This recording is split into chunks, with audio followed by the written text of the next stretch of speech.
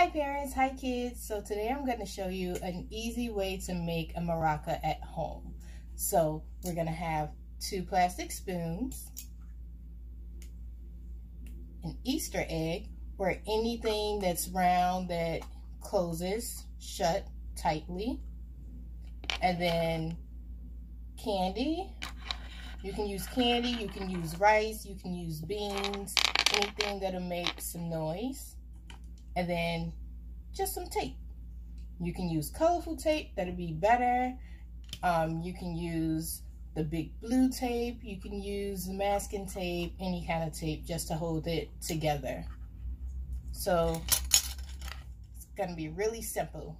First thing we're gonna do is take our egg and fill it with the candy. Now we're gonna close that shut. We're going to take our two spoons and put them face together. We're then going to take our tape and wrap our tape around the handles of the spoon. We're just going to make sure that it's very tight so that it does not come apart. And just make sure that it's equal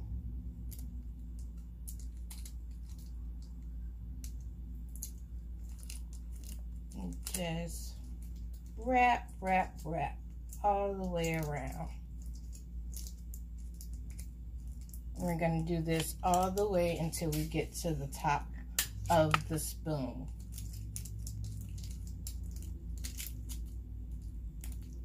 Once you have that first on, that first part on, it makes things that much easier just to keep going up and around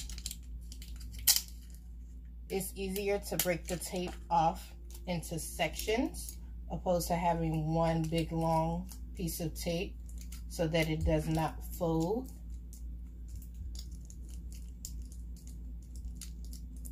And once you get all the way up, it should be closed like this.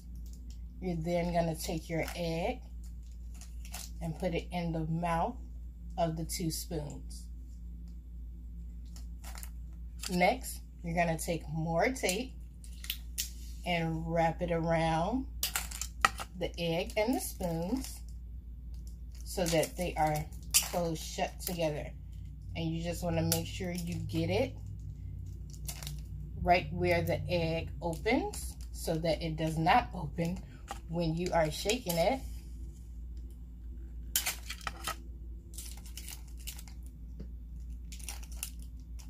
And you can do that to your discretion just so you feel comfortable enough whereas it is closed all the way and it's not going to open.